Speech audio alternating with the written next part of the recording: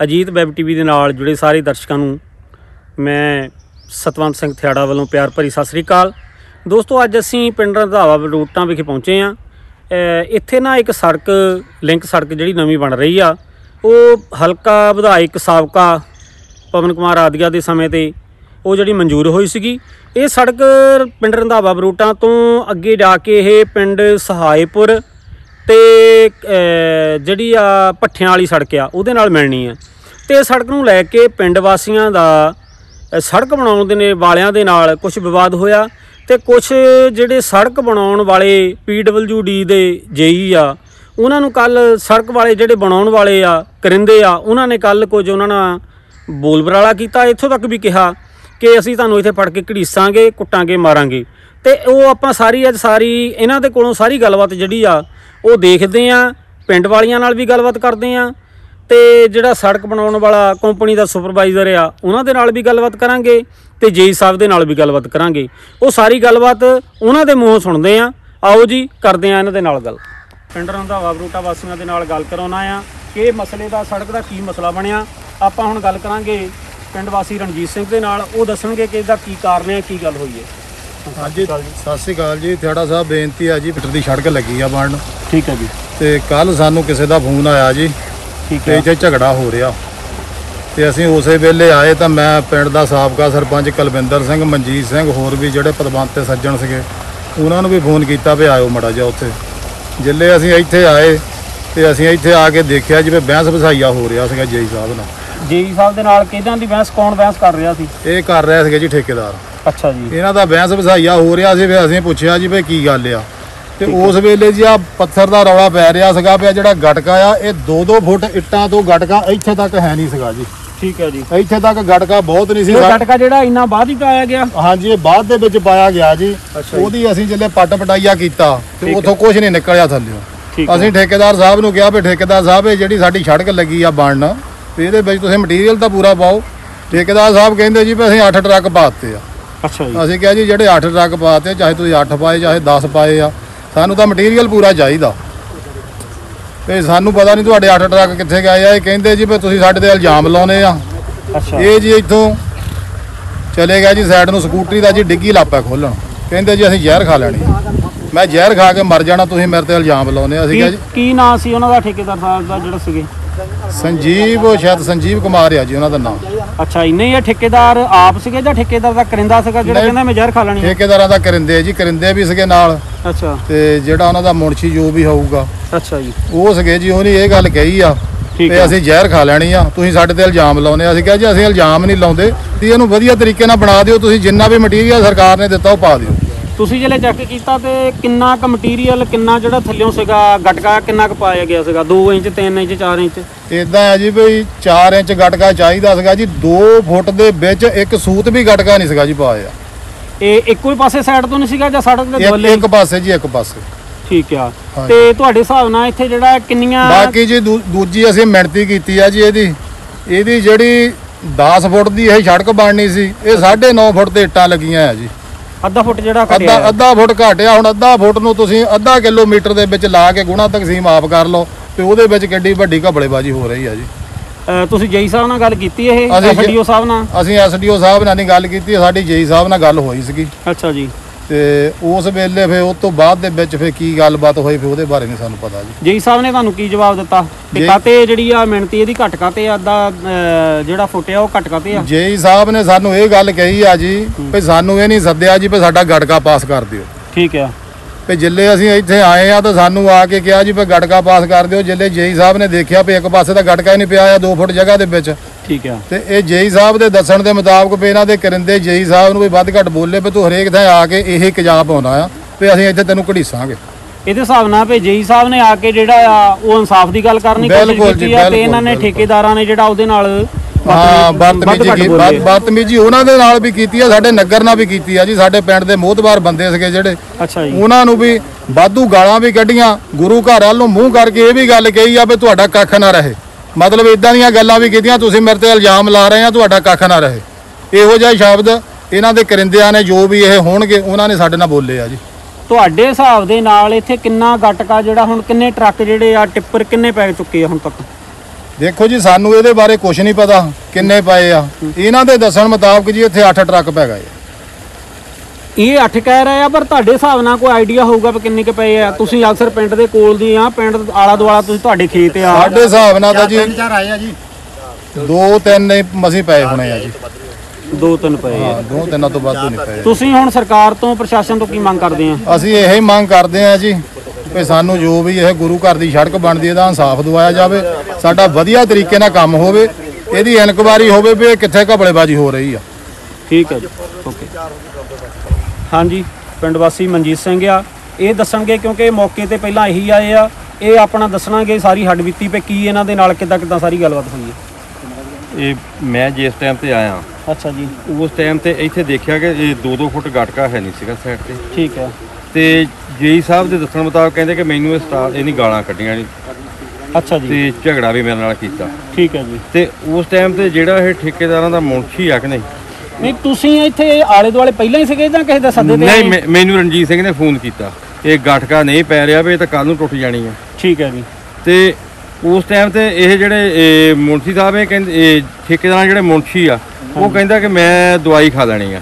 ਅੱਛਾ ਜੀ। ਇਹ ਜਾ ਕੇ ਫਟਾਫਟ ਸਕੂਟਰ ਨੂੰ ਕਿੱਕ ਮਾਰਨ ਲੱਗਾ ਕਿ ਮੈਂ ਤੁਹਾਡਾ ਪੰਜਾ ਛੇ ਦਾ ਨਾਂ ਲਿਖਾ ਕੇ ਕਹਿੰਦੇ ਕਿਹੜੀ ਗੱਲ ਕਰਕੇ ਉਹਨਾਂ ਨੇ ਕਾਹਤੇ ਦਵਾਈ ਖਾਣ ਨੂੰ ਕਿਹਾ ਕੀ ਕਾਰਨ ਸੀਗਾ? ਤੁਸੀਂ ਇਹ ਗਟਕਾ ਕਿਉਂ ਕਹਿੰਦੇ ਨਹੀਂ ਪਿਆ? ਹੈ? ਅੱਛਾ ਜੀ। ਤੇ ਉਹਨੇ ਇਹਨੂੰ ਮੈਂ ਬਾਹੋਂ ਫੜ ਕੇ ਮੈਂ ਕਿਹਾ ਯਾਰ ਇਦਾਂ ਦਾ ਕਰ ਵੀ ਜਿਹੜਾ ਮਸਲਾ ਆਪਾਂ ਇੱਥੇ ਖੜੇ ਹੋ ਕੇ ਗੱਲਬਾਤ ਨਾਲ ਸੁਲਝਾ ਲੈਣਾ। ਇਹਨੂੰ ਮੈਂ ਫੜ ਕੇ ਲਿਆਇਆ ਸਕੂਟਰ ਦੇ ਕੋਲੋਂ। ਠੀਕ ਹੈ। ਤੇ ਇੰਨੀ ਗੱਲਬਾਤ ਹੋਈ। ਠੀਕ ਹੈ ਜੀ ਓਕੇ ਜੀ। ਹੁਣ ਮੇਰੇ ਨਾਲ ਮਹਿਕਮੇ ਦੇ ਜੇਈ ਸਾਹਿਬ ਖੜੇ ਆ। ਅਸ਼ੋਕ ਕੁਮਾਰ ਜੀ ਉਹਨਾਂ ਨੂੰ ਪੁੱਛਾਂਗੇ ਕਿ ਸਾਰੇ ਮਸਲੇ ਦਾ ਕੀ ਕਾਰਨ ਆ ਕੀ ਚੱਕਰ ਪਿਆ ਕਾਤੇ ਇਹਨਾਂ ਦੇ ਨਾਲ ਜਿਹੜੀ ਆ ਠੇਕੇਦਾਰ ਨੇ ਜਿਹੜੀ ਬਹਿਸਬਾਜ਼ੀ ਕੀਤੀ ਆ ਜਾਂ ਕੋਈ ਆਪ ਸ਼ਬਦ ਵੀ ਬੋਲੇ ਆ ਇਹਨਾਂ ਤੋਂ ਸਾਰਾ ਪੁੱਛ ਜਾਵੇ ਕੀ ਕਾਰਨ ਬਣੇ। ਦੱਸੋ। ਭਾਜੀ ਸਤਿ ਸ਼੍ਰੀ ਅਕਾਲ ਜੀ। ਇੱਥੇ ਸਾਡੇ ਸੁਪਰਵਾਈਜ਼ਰ ਜਿਹੜੇ ਹੈਗੇ ਆ ਠੇਕੇਦਾਰ ਵੱਲੋਂ ਜੀ ਠੀਕ ਹੈ। ਹਰਜਿੰਦਰ ਸਿੰਘ ਜੀ। ਠੀਕ ਹੈ। ਇਹਨਾਂ ਨੇ ਮੈਨੂੰ ਬੁਲਾਇਆ ਵੀ ਭਾਜੀ ਆਣ ਕੇ ਅਸੀਂ ਪਹਿਲੀ ਲੇਅਰ ਪਾਈ ਆ ਜਿਹੜੀ ਸੜਕ ਦੀ ਉਹ ਆਣ ਕੇ ਚੈੱਕ ਕਰ ਲਓ। ਠੀਕ ਹੈ। ਤੇ ਜਦੋਂ ਮੈਂ ਇੱਥੇ ਆਇਆ ਜੀ ਠੀਕ ਆ ਹੈ ਕੇ ਦੇਖਿਆ ਤੇ ਇਹਨਾਂ ਨੇ ਨਾ 8 ਫੁੱਟ ਦੇ ਵਿੱਚ ਸੀਗੀ ਜੀ ਇਹਨਾਂ ਦੀ ਜੀਐਸਪੀ ਨਿਕਲੀ। ਠੀਕ ਹੈ। ਜਿਹੜਾ ਪਹਿਲੀ ਲੇਅਰ ਪਾਉਣੀ ਜਦ ਕਿ ਸੜਕ 10 ਫੁੱਟ 10 ਦੀ ਫੁੱਟ ਹੈ ਦੀ ਬਣਨੀ ਸੀਗੀ। ਠੀਕ ਹੈ ਠੀਕ ਹੈ। ਮੈਂ ਥੋੜਾ ਬਹੁਤਾ ਚੈੱਕ ਕੀਤਾ ਹੈ ਤੁਰ ਕੇ ਵੈਸੇ ਹੀ। ਤੇ ਕਾਫੀ ਜਗ੍ਹਾ ਤੇ ਹੈ ਨਹੀਂ ਸੀਗੀ ਜੀ ਵਿੱਚ। ਕੁਝ ਜਗ੍ਹਾ ਤੇ ਪੂਰੀ ਸੀ ਕਾਫੀ ਜਗ੍ਹਾ ਤੇ ਜਿਹੜੀ ਸੀ ਉਹ 8 ਫੁੱਟ 'ਚ ਹੀ ਸੀ। ਠੀਕ ਹੈ ਜੀ। ਤੇ ਜਦੋਂ ਮੈਂ ਉਹ ਲੇਬਰ ਵਾਲਿਆਂ ਨੂੰ ਜਾਂ ਆਪਣੇ ਪਹਿਲਾਂ ਮੈਂ ਐਸਡੀਓ ਸਾਹਿਬ ਨੂੰ ਦੱਸਿਆ ਜੀ ਕਿ ਇੱਥੇ ਆਹ ਪ੍ਰੋਬਲਮ ਆ। ਕਿਹੜੇ ਐਸਡੀਓ ਸਾਹਿਬ ਇੱਥੇ? ਸਾਡੇ ਗੁਰਮੀਤ ਸਿੰਘ ਜੀ। ਗੁਰਮੀਤ ਸਿੰਘ ਠੀਕ ਹੈ ਜੀ। ਤੇ ਉਹਨਾਂ ਨੇ ਕਹਿੰਦੇ ਵੀ ਤੂੰ ਕੰਮ ਬੰਦ ਕਰਾ ਦੇ। ਠੀਕ ਹੈ ਜੀ। ਜਦੋਂ ਮੈਂ ਲੇਬਰ ਵਾਲਿਆਂ ਨੂੰ ਕਿਹਾ ਮੈਂ ਕਿਹਾ ਤੁਸੀਂ ਗਲਤ ਕੰਮ ਕਿਉਂ ਕਰਦੇ ਆ? ਠੀਕ ਹੈ। ਉਹ ਕਹਿੰਦਾ ਤੂੰ ਜ਼ਿਆਦਾ ਬਕਵਾਸ ਨਾ ਕਰ। ਮੈਂ ਤਾਂ ਤੈਨੂੰ ਕਹਿੰਦਾ ਇੱਥੇ ਘੜੀਸੂੰਗਾ ਕਹਿੰਦਾ ਕੁੱਟੂ ਕੁੱਟੂੰਗਾ ਤੈਨੂੰ ਮੈਂ। ਲੇਬਰ ਵਾਲਾ ਲੇਬਰ ਦਾ ਠੇਕੇਦਾਰ ਸੀ ਜਾਂ ਕੌਣ ਸੀ ਉਹ? ਲੇਬਰ ਦਾ ਠੇਕੇਦਾਰ ਸੀਗਾ ਜੀ ਫੂਲਚੰਦ ਦਾ ਉਹਦਾ ਨਾਮ। ਅੱਛਾ ਜੀ। ਹਾਂ ਉਹ ਕਹਿੰਦਾ ਮੈਂ ਤੈਨੂੰ ਇੱਥੇ ਘੜੀਸੂੰਗਾ ਕਹਿੰਦਾ ਤੂੰ ਬਕ ਬਕ ਨਾ ਬਹੁਤ ਕਰ। ਠੀਕ ਹੈ ਜੀ। ਤੇ ਉਸ ਤੋਂ ਬਾਅਦ ਬਹੁਤ ਜ਼ਿਆਦਾ ਬਹਿਸਬਾਜ਼ੀ ਇਹਨਾਂ ਨੇ ਕੀਤੀ ਜੀ ਮੇਰੇ ਨਾਲ। ਕਾਫੀ। ਦੇਰ ਲੜਦੇ ਰਹੇ ਆ ਮੇਰੇ ਨਾਲ। ਤੇ ਉਹੀ ਆ ਜੀ 8 ਫੁੱਟ ਸੀਗਾ ਇਹਨਾਂ ਦਾ ਗਟਕਾ ਇਹਨਾਂ ਨੂੰ ਮੈਨੂੰ ਤੁਸੀਂ ਐਸਡੀਓ ਉਹ- ਸਾਹਿਬ ਉਸ ਤੋਂ ਬਾਅਦ ਫਿਰ ਤੁਸੀਂ ਕੀ ਕਾਰਵਾਈ ਕੀਤੀ? ਪਿੰਡ ਵਾਲਿਆਂ ਨੂੰ ਦੱਸ- ਤੁਸੀਂ ਦੱਸਿਆ ਤੇ ਕੀ ਕੀਤਾ? ਇੱਥੇ ਪਿੰਡ ਵਾਲੇ ਆ ਗਏ ਜੀ। ਸੁਣ ਕੇ ਬਹਿਸਬਾਜ਼ੀ ਇੰਨੀ ਉੱਚੀ ਉੱਚੀ ਹੋ ਰਹੀ ਸੀ ਸਾਰੇ ਪਹੁੰਚ ਗਏ ਇੱਥੇ। ਅੱਛਾ ਜੀ। ਕਾਫੀ ਜਣੇ। ਠੀਕ ਪਿੰਡ। ਵਾਲਿਆਂ ਨੇ ਚਲੋ ਮੇਰਾ ਵੀ ਸਹਿਯੋਗ ਕੀਤਾ ਇਸ ਗੱਲ 'ਚ। ਠੀਕ ਹੈ। ਭਈ ਜਿਹੜੀ ਚੀਜ਼ ਗਲਤ ਹੈ ਭਾਈ ਗਲਤ ਹੀ ਆ। ਜੇ ਉਹ ਪਿੰਡ ਵਾਲੇ ਪਿੰਡ ਵਾਲੇ ਇਹ ਕਹਿ ਰਹੇ ਆ ਕਿ ਇੱਥੇ ਦੋ ਤਿੰਨ ਟਰੱਕ ਜਿਹੜੇ ਗਟਕੇ ਦੇ ਪਏ ਆ। ਤੇ ਜਿਹੜੇ ਮਹਿਕਮੇ ਵਾਲੇ ਠੇਕੇਦਾਰ ਕਹਿ ਰਹੇ ਆ ਮਹਿਕਮੇ ਵਾਲੇ ਨਹੀਂ ਠੇਕੇਦਾਰ ਕਹਿ ਰਿਹਾ ਹਾਂਜੀ। ਕਿ ਜਿਹੜੇ 7-8 ਟਰੱਕ ਜਿਹੜੇ ਆ ਗਟਕੇ ਦੇ ਆ ਚੁੱਕੇ ਆ। ਤੁਹਾਡੀ ਜਿਹੜੀ ਪਮੈਸ਼ ਦੇ ਹਿਸਾਬ ਨਾਲ ਇੱਥੇ ਕਿੰਨਾ ਗਟਕਾ ਪਿਆ? ਕਿੰਨੇ ਟਰੱਕ ਪਏ ਆ? ਭਾਜੀ ਇਹ ਟਰੱਕਾਂ 'ਚ ਅਸੀਂ ਗਿਣਤੀ ਨਹੀਂ ਵੈਸੇ ਕਰਦੇ। ਠੀਕ ਆ। ਅਸੀਂ ਤਾਂ ਦੇ ਹਿਸਾਬ ਨਾਲ? ਅਸੀਂ ਮੇਜਰਮੈਂਟ ਹੀ ਕਰੀਦੀ ਹੈ ਜਿੱਦਾਂ 4 ਇੰਚ ਪੈਣਾ ਤੇ 4 ਇੰਚ ਸਾਨੂੰ ਮਿਲਣਾ ਚਾਹੀਦਾ 10 ਫੁੱਟ ਦੇ ਵਿੱਚ ਪੂਰਾ ਮਿਲਣਾ ਚਾਹੀਦਾ। ਠੀਕ ਆ। ਹਾਂ ਕਿਉਂਕਿ ਕੋਈ ਬੇਲਦਾਰ ਹੈ ਨਹੀਂਗਾ ਜੀ ਨਾਲ। ਠੀਕ ਹੈ ਜਿਹੜਾ ਆਣ ਕੇ ਇੱਥੇ ਗਿਣਤੀ ਕਰੇ ਵੀ ਕਿੰਨੇ ਟਰੱਕ ਆਏ ਆ। ਪਿੰਡ ਵਾਲਿਆਂ ਦਾ ਇਹ ਵੀ ਇਲਜ਼ਾਮ ਆ ਕਿ ਜਿਹੜੀ ਸੜਕ ਆ ਉਹਦੀ ਚੜਾਈ ਜਿਹੜੀ ਆ ਉਹਦੀ ਪਮੈਸ਼ ਜਿਹੜੀ ਆ ਉਹ 10 ਫੁੱਟ ਦੀ ਆ। ਪਰ ਉਹ ਬਣਾਈ ਇਸ ਵੇਲੇ ਜਿਹੜੀ ਆ ਉਹ 9.5 ਦਾ ਹੀ ਆ। ਇਹਦਾ ਕੀ ਕਾਰਨ ਆ? 9 ਫੁੱਟ 9 ਇੰਚ 'ਚ ਇਹਨਾਂ ਨੇ ਐਜਿੰਗ ਲਾਈ ਆ ਜੀ। ਇਹਨੂੰ ਪੱਟ ਕੇ ਇਹਨਾਂ ਨੂੰ ਕਹਿਤਾ ਵੀ 10 ਫੁੱਟ 'ਚ ਕਰਕੇ ਦਿਓ ਮੈਨੂੰ 10 ਫੁੱਟ ਸੜਕ ਚਾਹੀਦੀ ਹੈ ਜੀ। ਇਹਦਾ ਮਤਲਬ ਇਹਦੇ ਵਿੱਚ ਵੀ ਘਪਲੇਬਾਜ਼ੀ ਆ? ਬਿਲਕੁਲ ਜੀ। ਠੀਕ ਹੈ। ਹਾਂ ਇਹ ਹੈਗੀ ਸਾਰੀ ਲੇਬਰ ਦੀ ਹੁੰਦੀ ਆ ਜੀ ਕੰਨੀ ਨਾ ਇਹ ਜਿਹੜੀ ਹੈਗੀ ਆ ਲੇਬਰਾਂ ਹੀ ਕਰਦੀਆਂ ਇਦਾਂ ਜੀ ਇਹ ਪਿਛਲੀ ਸਰਕਾਰ ਦੇ ਟਾਈਮ ਦੀ ਇਹ ਪਾਸ ਹੋਈ ਉਹ ਸੜਕ? ਹਾਂਜੀ ਹਾਂਜੀ। ਠੀਕ ਹੈ। ਪਹਿਲਾਂ ਦੀ ਹੋਈ ਹੈ ਓਕੇ ਹੁਣ ਮੇਰੇ ਨਾਲ ਕੰਪਨੀ ਦੇ ਸੁਪਰਵਾਈਜ਼ਰ ਹਰਜਿੰਦਰ ਜੀ ਹੈਗੇ ਆ। ਇਹਨਾਂ ਦੇ ਨਾਲ ਕੱਲ ਜਿਹੜੀ ਗੱਲਬਾਤ ਹੋਈ ਆ, ਪਿੰਡ ਵਾਲਿਆਂ ਦੇ ਨਾਲ ਬਹਿਸਬਾਜ਼ੀ ਹੋਈ ਆ, ਪਿੰਡ ਵਾਲੇ ਇਹ ਵੀ ਇਲਜ਼ਾਮ ਲਾਏ ਆ ਕਿ ਹਰਜਿੰਦਰ ਜੀ ਨੇ ਸਾਨੂੰ ਇਹ ਵੀ ਕਿਹਾ ਕਿ ਮੈਂ ਤੁਹਾਡੇ ਸਿਰ ਚੜ ਕੇ ਜਿਹੜੀ ਆ ਉਹ ਜ਼ਹਿਰ ਖਾ ਲੈਣੀ ਆ ਤੇ ਮੈਂ ਤੁਹਾਨੂੰ ਸਾਰਿਆਂ ਨੂੰ ਬਣਾ ਦੇਣਾ ਤੇ ਮੈਂ ਤੁਹਾਡੇ ਤੇ ਸਾਰਿਆਂ ਤੇ ਪਰਚੇ ਕਰਵਾਉਂਗਾ। ਹੁਣ ਇਹਦਾ ਸਾਰੀ ਜਿਹੜੀ ਆ ਕਿਉਂ ਕੀਤਾ ਗਿਆ, ਇਹਨਾਂ ਨੂੰ ਕੀ ਕਾਰਨ ਸੀਗਾ, ਉਹ ਸਾਰਾ ਇਹਨਾਂ ਨੂੰ ਪੁੱਛਦੇ ਆ ਜੀ। ਹਾਂਜੀ ਹਰਜਿੰਦਰ ਜੀ।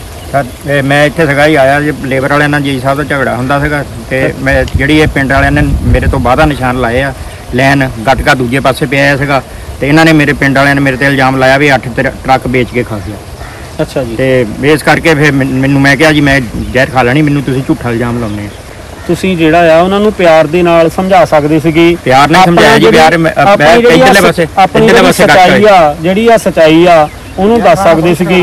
ਜ਼ਹਿਰ ਖਾਣ ਦੀ ਨੌਬਤ ਜਿਹੜੀ ਆ ਇਹ ਕੀ ਕਾਰਨ ਬਣ ਗਿਆ? ਇਹ ਇਹ ਜੀ ਇਹਨਾਂ ਨੇ ਮੇਰੇ ਤੇ ਇਲਜ਼ਾਮ ਲਾਇਆ ਜੀ ਕਹਿੰਦੇ ਤੁਸੀਂ 8 ਟਰੱਕ ਵੇਚ ਕੇ ਖਾ ਗਏ ਜੀ। ਅੱਛਾ ਜੀ। ਹਾਂਜੀ। ਤੇ ਇੱਥੇ ਠੇਕੇਦਾਰ ਕਿਹੜਾ ਕੀ ਨਾਂ ਠੇਕੇਦਾਰ ਦਾ? ਜੀ ਅਗਰਵਾਲ। ਰਜੀਵ ਅਗਰਵਾਲ। ਤੁਸੀਂ ਫਿਰ ਉਹਨਾਂ ਨਾਲ ਗੱਲ ਕੀਤੀ? ਹਾਂਜੀ ਉਹਨਾਂ ਦੇ ਦੱਸੋ ਉਹਨਾਂ ਨੇ ਤੁਹਾਨੂੰ ਕੀ ਕਿਹਾ? ਉਹਨਾਂ ਨੇ ਉਹਨਾਂ ਨੇ ਕਿਹਾ ਜੀ ਜਿੱਥੇ ਘੱਟ ਆ ਉੱਥੇ ਪਾ ਦਿਓ ਜੀ। ਜਿੱਥੇ ਘਟਿਆ ਉੱਥੇ ਪਾ ਦਿਓ। ਪਾ ਦਿਓ। ਤੇ ਹੁਣ ਤੁਸੀਂ ਇਹ, ਪਿੰਡ ਵਾਲਿਆਂ ਨਾਲ ਆ ਕੇ ਦੁਬਾਰਾ ਉਹਨਾਂ ਨਾਲ ਕੋਈ ਸਹਿਮਤੀ ਪ੍ਰਗਟਾਈ ਆ? ਕੀ ਹੁਣ ਤੁਹਾਡੀ ਕੀ ਗੱਲਬਾਤ? ਹੁਣ ਤੁਸੀਂ ਫੇਰ ਸਾਰੇ ਜਾਣੇ ਇਕੱਠੇ ਹੋਏ ਹੁਣ ਕੀ ਗੱਲਬਾਤ ਹੋਈ ਆ ਆਪਸ ਵਿੱਚ? ਕੋਈ ਗੱਲ ਨਹੀਂ ਹੋਈ ਜੀ ਗਟਕਾ ਸੀ ਕਹਿੰਦੇ ਸੀ ਪਾ ਦਿਓ ਅਸੀਂ ਪਾਤਾ ਜੀ। ਤੇ ਤੇ ਇਹਦਾ ਨਿਸ਼ਾਨਦੇਹੀ ਪਹਿਲਾਂ ਪਿੰਡ ਵਾਲਿਆਂ ਨੇ ਗਲਤ ਦਿੱਤੀ ਸੀ ਉਹ ਗ- ਦੂਜੇ ਪਾਸੇ ਗਟਕਾ ਪਿਆ ਹੈ। ਅੱਛਾ ਜੀ। ਹਾਂਜੀ, ਇਹ ਜਿਹੜਾ ਰਸਤਾ ਸੀਗਾ ਪਹਿਲਾਂ ਦੀ ਜਿਹੜੀ ਨਿਸ਼ਾਨਦੇਹੀ ਗਲਤ ਹੋਈ ਆ? ਹਾਂਜੀ।